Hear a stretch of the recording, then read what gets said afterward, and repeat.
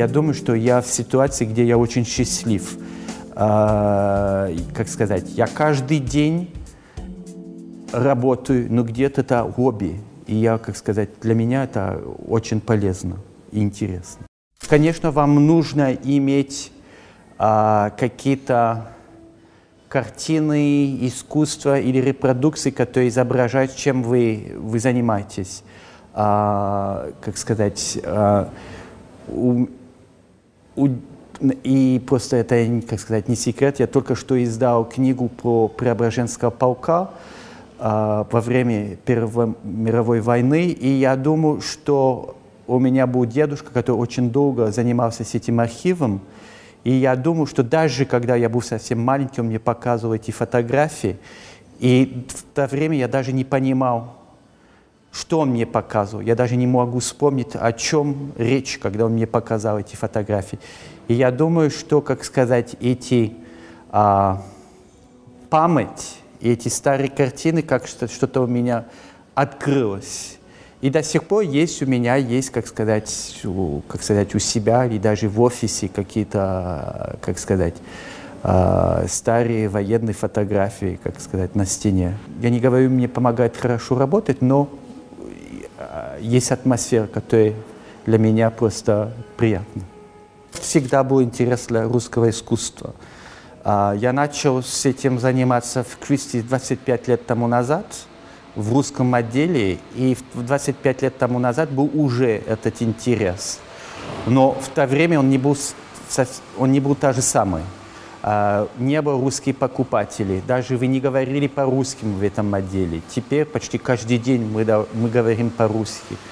Uh, и, короче говоря, первый настоящий интерес – для русского искусства начался 10 лет тому назад, после, немножко больше, чем 10 лет тому назад, и очень странно после перестройки.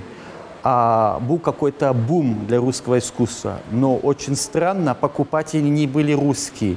Это были, как сказать, иностранцы, которые где-то думали, что они что-то пропустили и до, должны познакомиться с русским искусством.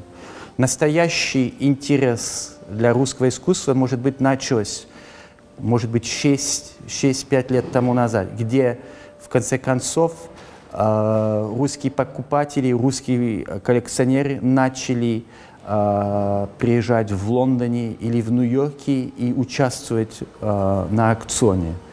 Вот. А почему так поздно? Я думаю, что просто это был медленный процесс – а, я не уверен, что все его понимали аккуратно в России. И ну, медленно люди начали понять, чем мы занимаемся, что мы имеем в каталоге, и люди просто начали приезжать к нам.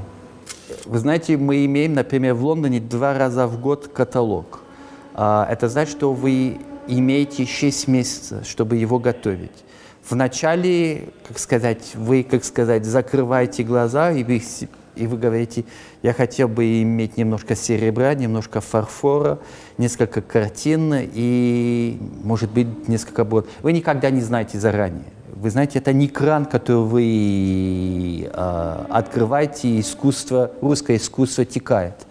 Нужно найти эти работы. Есть Uh, есть uh, случаи, где просто вы очень счастливы, нашли какую-то коллекцию, а, или есть случаи, где просто очень трудно э, найти эти, эти предметы. Нужно сказать правду, теперь труднее и труднее. Но, как сказать, если вы были в этом рынке очень долго, а, вы вспоминаете, где вещи находятся. И просто люди или заходят к вам, или просто очень аккуратно вы стараетесь узнать, что с этой коллекцией, что с этим предметом и так далее. И вы медленно готовите этот каталог. Самый интересный случай, когда мы нашли а, под Парижем эту прекрасную коллекцию, эти были работы Сомова.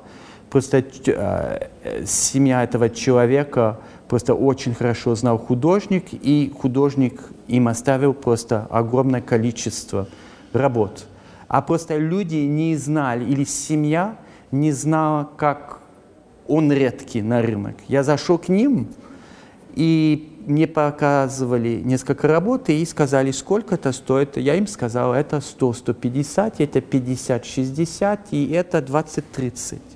И они мне сказали, вы с ума сошли, вы несерьезный человек. Я сказал, что это слишком много? Нет, это не стоит вот такие деньги. Я сказал, не беспокойтесь, увидите. И одна работа, которую я оценил около 200, продали за 600. Есть вот такие случаи. Вы есть замечательный где-то парадокс, который вы почти встречаете каждый день, как-то вы путешествуете для крестиста и ищете э, предметы.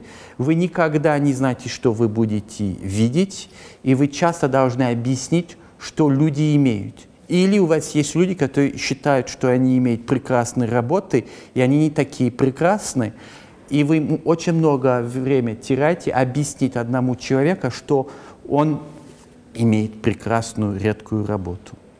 Это не вы, которые решаете, что люди должны куп, э, покупать. Это, как сказать, народ, который участвует на аукционе. А, конечно, вы имеете, как сказать, вы можете что-то чувствовать, но в конце концов вы никогда не знаете заранее, почему будет огромный интерес для такого художника или совсем новый интерес для, для, для какого-то предмета или для, для какого-то художника. Это народ, коллекционер решает. У вас, например, э, я стараюсь быстро вам дать несколько примеров. Несколько лет тому назад никто не собирал Серебрякова. Теперь все хотят Серебрякова. А, военная тематика 10-15 лет тому назад никто не, это не собирал. Я говорю в наших каталоге в, в Лондоне. Теперь есть большой интерес. Вы никогда не знаете, как строится этот интерес. Можете стар, стар, старайтесь это понять, узнать заранее, но это очень трудно. У вас до сих пор есть какие-то художники, которые прекрасные, которые не имеют, как сказать, которые в кавычки плохо продаются на аукционе. Например, у вас есть такой художник прекрасный, который я считаю очень важный для русского искусства, Сергей Чехонин, который занимался с миниатюрами, рисунки, фарфор. И, или вы не можете его найти на... Даже когда вы его имеете на, на аукционе, когда вы, стараетесь, когда вы стараетесь сравнить его работу с другими, видно, что, как сказать, интерес не та же самая. А почему люди его не собирают, я не знаю.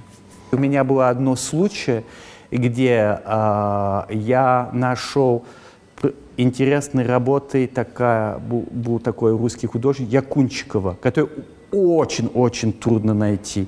И несколько лет тому назад я нашел маленькую коллекцию – и я считал, что просто это замечательно, это никогда не было на рынке. И я старался объяснить через цены, что это редкий художник.